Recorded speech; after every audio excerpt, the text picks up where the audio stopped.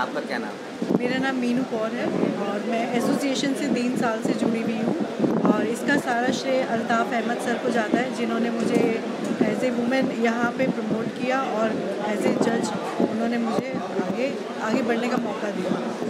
मेरा पूरा श्रेय इस चीज़ के लिए ये बताइए बहुत अक्सर दिनों से कई शहरों में प्रोग्राम होते हैं लेकिन महिलाओं को योगदान देते हैं। आप महिलाओं को आगे के लिए क्या क्या उपाय करें जज मैंने महिला मैंने ज्वाइन किया है तो जो महिलाएँ इसमें पार्टिसिपेट करना चाहती हैं कंपटीशन में उनको ये झिझक ना रहे कि सिर्फ़ मेंस फेवर होगा तो अगर लेडीज़ जज भी हैं बीच में तो उनको हमेशा ये एक आस रहेगी कि वो एक जजमेंट जो होगा वो बिल्कुल सही दिशा में उनके लिए भी होगा। उनके लिए आगे बढ़ने का स्कोप ज़रूर रहेगा अशोका जी। ठीक पाटिया जी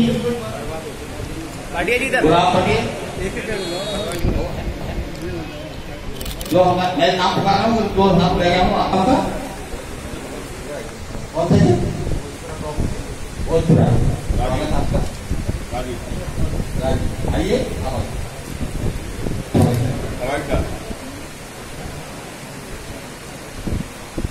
और कोई साहब? और कोई? हमारे जो है उनका सम्मान होने से रहेगा वो कृपया करके आ जाए। साहब पर और आगे बढ़ करके स्वागत करते हुए भाई हमारे राजन के डॉक्टर साहब हमसे संपर्क करें राजेंद्र गिडियाल जी से संपर्क करें।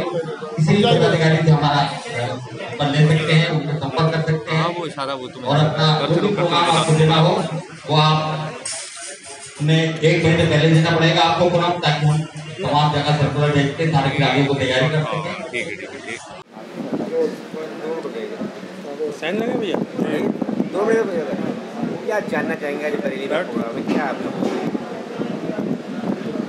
मैं अल्ताफ अहमद महासचिव Uttar Pradesh fitness body building association आज यहाँ बरेली में हमने फिटनेस बॉडी बिल्डिंग एसोसिएशन की तरफ़ से एनुअल मीटिंग बॉडी की जनरल बॉडी मीटिंग और एग्जीक्यूटिव कमेटी की मीटिंग हमने ली और हमारा यहाँ आने का मकसद बरेली में स्वास्थ्य के प्रति जागरूकता पैदा हो, नौजवानों में स्वास्थ्य के लिए अपना एक जोश पैदा हो और वो नौजवान अपने देश का प्रदेश का नाम रोशन करें। हमारे विभिन्न जिलों से यहाँ पर लोग आए हैं। फरदाबाद, रामपुर, बरेली, अमरोहा, मेरठ, सहारनपुर मुरादाबाद सभी ज़िले के यहाँ पे पदाधिकारी जौनपुर, सीतापुर, सुल्तानपुर, लखनऊ और इन्होंने आने का मकसद यही है कि हम यहाँ प्रदेश के अंदर हर ज़िले में एक चैम्पियनशिप ऑर्गेनाइज करें नौजवानों में जागरूकता पैदा करें और आने वाले समय के लिए नौजवानों को नशा मुक्ति से हम मुक्त करें। हमारा उद्देश्य यही है कि प्रदेश के बॉडी बिल्डर जो खिलाड़ी हैं, जो स्वास्थ्य हमारे यहाँ पर हिस्सा ले रहे हैं और वो प्रदेश का नाम रोशन करें, उसके बाद नेशनल में पार्टिसिपेट करें प्रदेश की तरफ़ से और उसके बाद इंटरनेशनल में। हमारी अभी एक चैम्पियनशिप आयोजित होने वाली है अमरोहा में 25 जून को। उसमें हम नेशनल चैम्पियनशिप का ट्रायल लेंगे और उसमें जो प्लेयर सेलेक्ट होंगे वो नेशनल में यूपी तरफ़ से भाग लेंगे। हाँ, उसके बाद नवंबर में नए नशे का शौक ज़्यादा बढ़ गया है उसको के लिए क्या प्रयास है आपका जी उसका बनाने के पर यही हमारा प्रयास है कि वो अपनी स्वास्थ्य के लिए पहले सोचें। उसके लिए सोसाइटी का होना अच्छी सोसाइटी का होना बहुत ज़रूरी है। ये है कि आपके चैंपियनशिप में महिलाओं का योगदान कम है, महिलाओं आगे बढ़ाने के लिए क्या प्रयास नहीं, हमारे अभी कल्चर ऐसा है कि हमारे उत्तर प्रदेश के अंदर अभी लोग जो आज की युवा पीढ़ी है महिलाओं में, वो भाग ले रही है। क्योंकि ये कल्चर है, वो संस्कृति है, इसलिए थोड़ा सा लोग परहेज करते हैं और इसलिए हमारा यहाँ अभी यूपी में जो है कम लेकिन नेशनल में ये चीज़ ज़्यादा हो रही है। यूपी की हमारी प्लेयर है सन्ना दलक अभी जो है यूनिवर्स बनी, मिस यूनिवर्स बनी। उसके बाद मिस एशिया चैंपियन बनी वर्ल्ड चैंपियनशिप बनी। ऐसा नहीं है कि महिलाओं में नहीं है महिलाओं में है लेकिन थोड़ा कम है।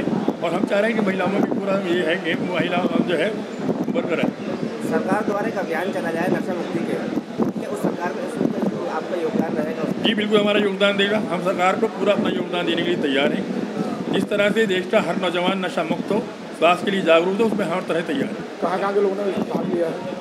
हमारे यहाँ के हमें इसमें जो भाग लिया है मीटिंग के अंदर हमारे मुरादाबाद अमरोहा बरेली रामपुर सीतापुर जौनपुर बदायूं लखनऊ फैदाबाद सहारनपुर गाजियाबाद मुजफ्फरनगर और आपका पीलीभीत। नई जनरेशन के लिए क्या संदेश होगा? नई जनरेशन के लिए हमारा ये संदेश है कि वो अपनी सेहत के लिए अपने स्वास्थ्य को फिट रखें अपने अपने जो सबसे बड़ी चीज़ है कि अपने माता पिता का सम्मान करें आदर्श करें तभी वो आगे बढ़ सकते हैं। मेन ये है कि जो लोग अपने माता पिता का, अपनी फैमिली का सम्मान करते हैं, गुरु का सम्मान करते हैं वो कभी पीछे नहीं रहते, आगे बढ़ते हैं।